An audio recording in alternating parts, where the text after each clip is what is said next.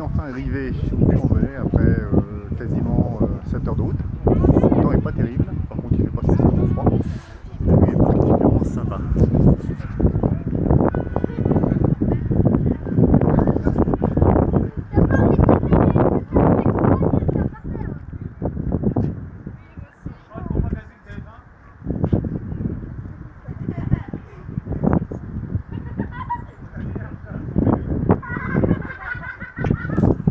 Voilà, donc euh,